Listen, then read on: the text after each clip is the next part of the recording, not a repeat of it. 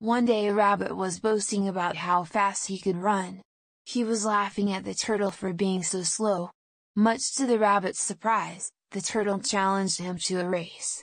The rabbit thought this was a good joke and accepted the challenge. The fox was to be the umpire of the race. As the race began, the rabbit raced way ahead of the turtle, just like everyone thought.